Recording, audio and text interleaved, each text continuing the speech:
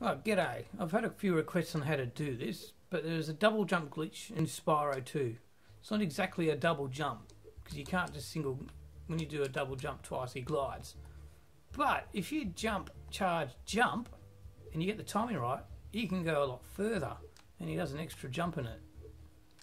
So here's an example. Standard jump, you cannot jump over this treasure, no matter how hard you try. With a double jump, you can just fly straight over it. And it's quite a big jump. It does take a few while to get used to it. It took me at least a month to get used to it. Um, yeah, it took me at least about a month. I'm trying to concentrate on this one. Now, not many people like paying money bags money. I hate him. You know, I've been practicing. Right. Want to pay some treasure? How about no? No. We don't want to pay you. You suck. I don't think it's fair. Now, it also doesn't matter to, um, except for the Japanese version, but if you're a PAL or NTSC,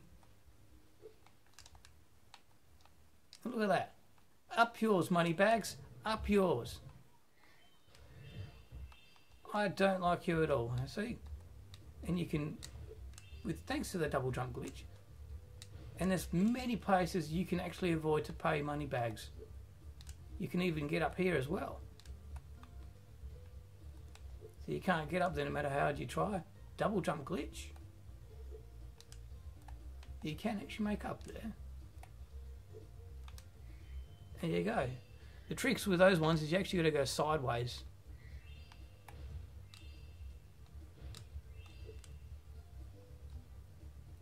And there's so many places you can use it.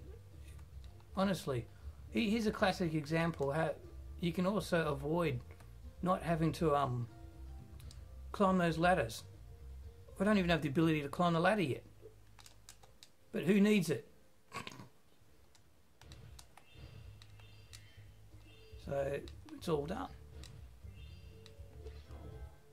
And you can just carry on flying. Now there's a few other glitches in this game um, including a permanent super flame. Going to have quite a bit of fun with that too. That makes it a lot more interesting. But to do that one, you need to have it 100% before. Now, this, this gives you an idea how easy it is. Now, to try the double jump, I'll try and do this with this control. This is really difficult, by the way. Um, yeah, just a standard controller, nothing special. Now, if you, I actually sort of roll my thumb. I sort of just do the jump with both thumbs. So if you, it's just sort of like that, yeah. It takes a bit of practice. You sort of roll your thumb and there's different timings to it too. You can really work it out. And when you do things like this, you can you don't have to come back to these levels again. But this is only just a little trial. This is the only version you get this double jump glitch. Um, it doesn't do it in Spyro 1, but there is ways of doing, there is an interesting glide technique you can have in Spyro 1 which not many people also know about, which I haven't quite mastered, but I'll try and do my best to give you a demo of it later. And it enables you to glide places you cannot reach. It's really quite bizarre how hard you get.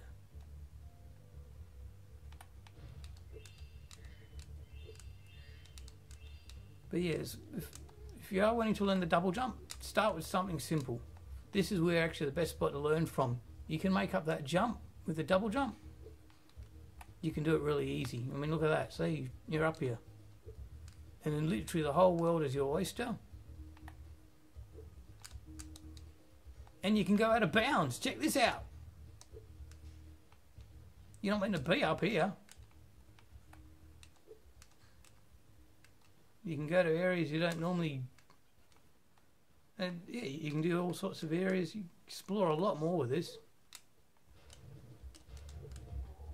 So you'll have a lot more fun with it. See, Learn the double jump glitch. Have fun with it. And there's actually also a way of. I haven't quite learned it yet. There is actually a way of actually getting those without actually flying.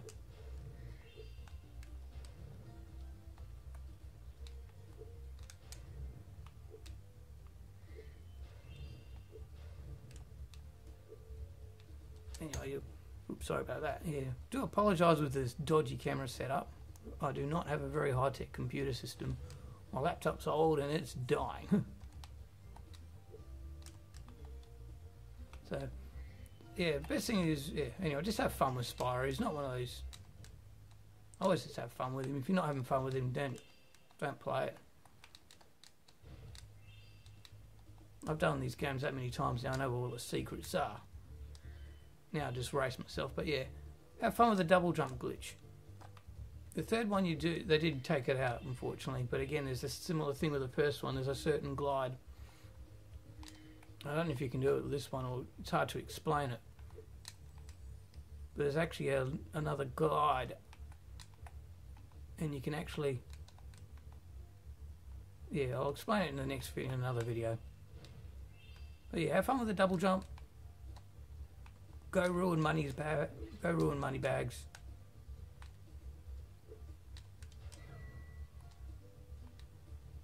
heard him. You can actually, it is possible. I haven't done it, but it is possible to actually complete the game without giving money bags a damn cent.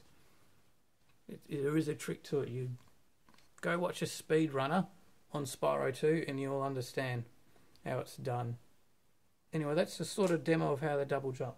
So it's essentially just, it is literally just X and square and you, it's just timing it. You've got to practice the timing. It's literally one straight after the other. It's the best way of explaining it. But when you do it, it is awesome fun and the whole world becomes your oyster. You know, enjoy it.